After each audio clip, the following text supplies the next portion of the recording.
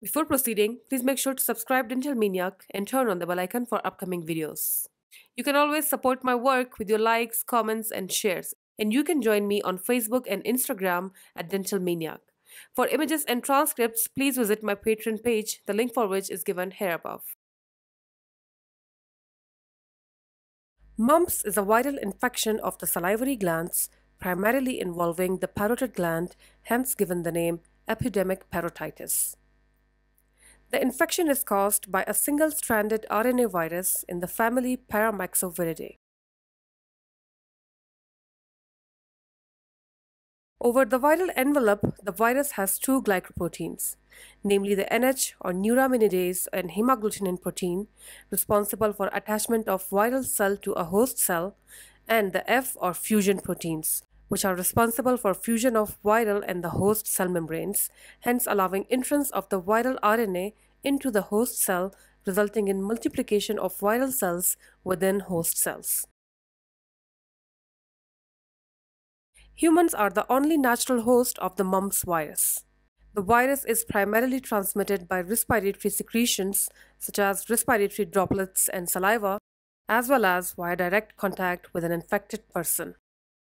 Transmission can occur from one week before the onset of symptoms to 8 days after the symptoms have appeared. During infection, the virus first infects the upper respiratory tract. From there, it spreads to the salivary glands and lymph nodes. Infection of the lymph nodes lead to presence of the virus in blood, which spreads the virus throughout the body. Mumps infection is usually self-limiting, which means that the disease comes to an end after the immune system clears the infection. Now coming to the clinical features, about 30% of mumps infections are subclinical, which means that no signs and symptoms can be observed. The disease occurs more commonly in children and young adults.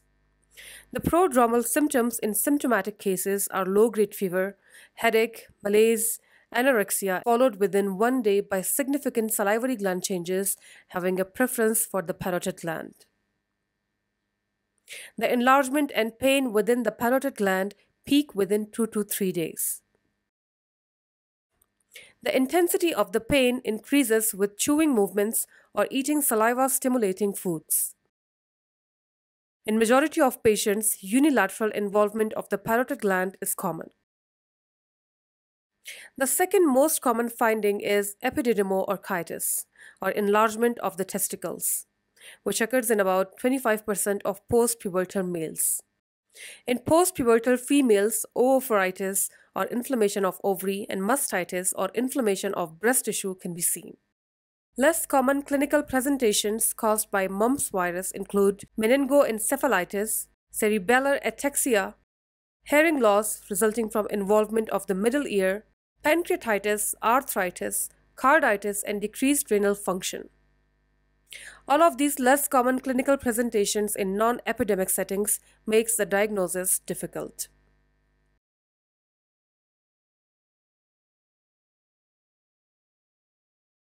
The diagnosis of mumps in an epidemic setting can be easily made with the clinical presentation of the disease. However, isolated cases often require laboratory confirmation by mumps-specific IgM or mumps-specific IgG antibodies. In addition, a swab of secretions obtained from the parotid or other affected salivary gland ducts can be used for viral culture. There are no effective antiviral drugs for mumps. That's why treatment of mumps is palliative. Non-aspirin analgesics and antipyretics can help reduce the symptoms. Sour foods and drinks should be avoided to help reduce salivary flow. Mumps epidemiology has been dramatically decreased over the years by vaccination. The vaccine is a live attenuated vaccine, which means that it's a weakened mumps virus that is not infectious but stimulates the immune system for prevention from mumps virus in the future. The vaccine is administered between 12 to 15 months of age. I hope you like this video. Please do give a thumbs up and share the video ahead with your friends. For upcoming videos, please don't forget to subscribe to the channel and turn on the bell icon to get notifications each time a video is uploaded. Have a nice day and thank you for watching.